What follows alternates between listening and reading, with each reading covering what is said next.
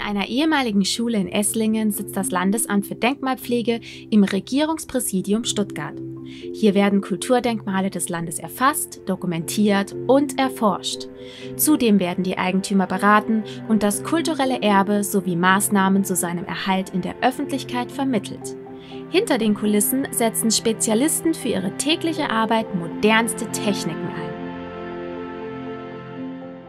Das ehemalige Schelztor-Gymnasium, der heutige Sitz des Landesamtes für Denkmalpflege im Regierungspräsidium, gehört zu den stattlichsten ähm, Bauwerken der zweiten Hälfte des 19. Jahrhunderts in Esslingen. 1876 als Realanstalt erbaut, wurde das Gebäude bis äh, 1979 weiterhin als Schule genutzt, als Gymnasium. Danach folgten Jahre des Leerstands und auch der Ungewissheit ähm, und eine Abbruchgenehmigung wurde erteilt. Glückliche Umstände und eine sehr engagierte Bürgerschaft in Esslingen ermöglichten, dass das Gebäude erhalten wurde und einer Umnutzung zugeführt werden konnte. Im Jahr 2003 konnten die behutsamen Umbaumaßnahmen erfolgen und auch die Ergänzung um den Glasneubau äh, fand statt. Das von Stadtbaumeister Wenzel erbaute Gebäude erschließt sich als Dreiflügelanlage. Die Backsteinfassade erfährt architektonische Betonung durch das Mittelrisalit mit äh, dezentem Bauschmuck.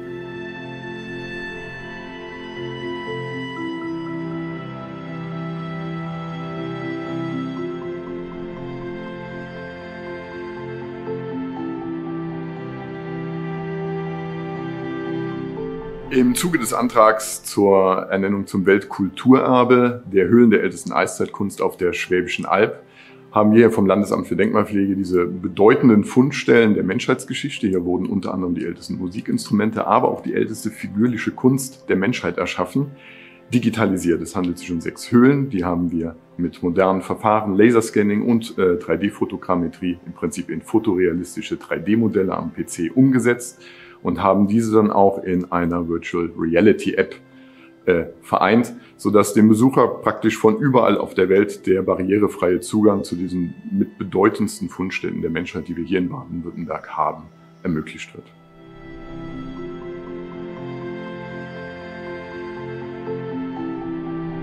Wir sind jetzt im Restaurierungsatelier der Bau- und Kunstdenkmalpflege, wo äh, sechs Restauratorinnen und Restauratoren beschäftigt sind, die verschiedene Fachbereiche abdecken. Zurzeit haben wir ein Gemälde äh, aus Harthausen hier in, im Atelier bei uns liegen, äh, welches über mehrere Jahrzehnte ausgelagert war und auf dem Kirchenboden äh, verstaut worden ist und dort sehr gelitten hat durch verschiedene Klimawechsel, extreme Klimabedingungen. Dieses Bild ist mittlerweile so verworfen und äh, muss nun dringend wieder restauriert werden. Und ähm, dazu sind einige Arbeitsschritte nötig. Es gab ein Vorprojekt äh, durch Restauratoren, die den, den Gesamtrahmen äh, auch ermittelt haben, die einen, einen äh, Konzeptrahmen aufgestellt haben. Und ähm, nun warten wir hier, bis die Finanzierung steht und äh, das Bild in die Restaurierung gehen kann. Dieses stark verworfene Bild äh, müssen wir nun in seinem Bestand erstmal erfassen und dokumentieren. Und das äh, gelingt uns mit einem, äh, mit einem Oberflächenscanner, der diese starken Verwerfungen uns veranschaulicht. Äh, das wird eben nach der Restaurierung, nach, nach dem Abschluss nochmal vorgenommen, um den Prozess der, der, der Rückgewinnung eines geraden Plattenleinwandbildes wieder zu bekommen. Und so können wir diese Technik hier sehr wirkungsvoll einsetzen. Das Schadensbild an dem Gemälde ist sehr gravierend. Die Malschicht, die droht abzublättern.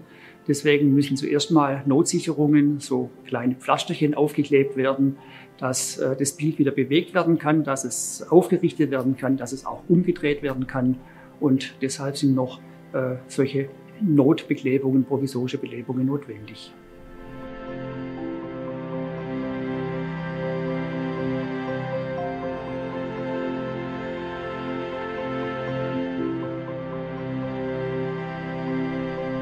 Ja, wir sind heute Morgen hier im Herzstück der Landesdenkmalpflege, nämlich im Hauptdienstsitz in Esslingen. Äh, ansonsten sind wir verteilt über das ganze Land Baden-Württemberg. Insgesamt finden sich bei uns circa 20 bis 30 verschiedene Berufsgruppen. Das reicht vom Grabungsarbeiter über den Archäologen, über die Kunsthistorikerin, den Architekten bis zu Juristen und Verwaltungsbeamten, also das gesamte Spektrum, um die Aufgaben wahrnehmen zu können.